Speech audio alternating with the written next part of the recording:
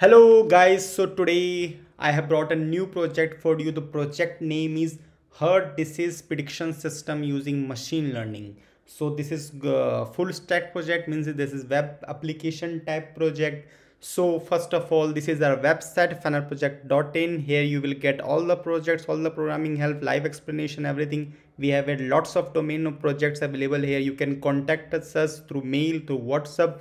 We will reach out and we'll try to help you out. Now come to the project. Please give us on two minutes. We will show you how to run this project and what is this project so you have to click on visual studio code you have to click on file open folder you have to open this project folder. If you don't have then you can contact us we will send you this project folder.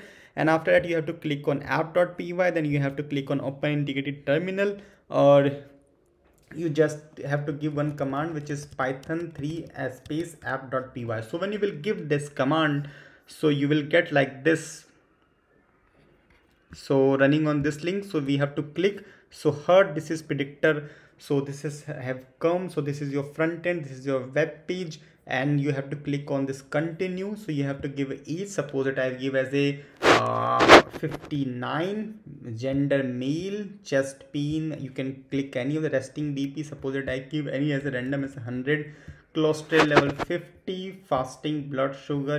Uh, i can keep like this and ecg i can show like medium then maximum heart rate achieve 90 induce yes old peak. So this is all are the attributes of heart disease.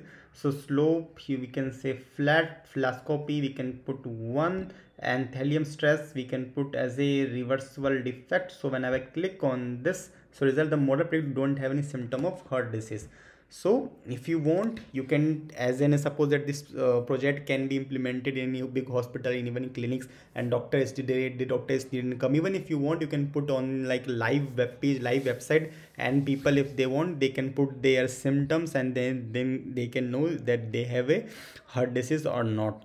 So this is your full stack uh, heart disease prediction using machine learning project and in this we have used the front end and the back end. For the front end we have used html css js for the back end we have used the python. We have used the flask for to integrate the front end and the back end.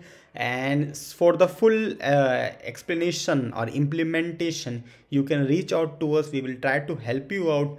And this is one of the beautiful project. Now what you have to do uh, now you have to go to a site which is known as a final project. You have to click on this so you will come to our youtube channel. Here you will find that we have lots of uh, computer science project on machine learning blockchain cryptography data science uh, different different domain. You can reach out to us. We will send these projects to you and you will get a good and great marks too. So thank you everyone. Thank you for supporting us. Don't forget to like this video and subscribe this channel and share with your friends. Thank you so much